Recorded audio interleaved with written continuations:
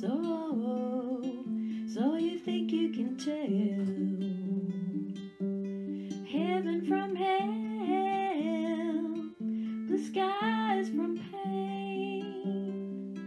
Can you tell a green field from cold steel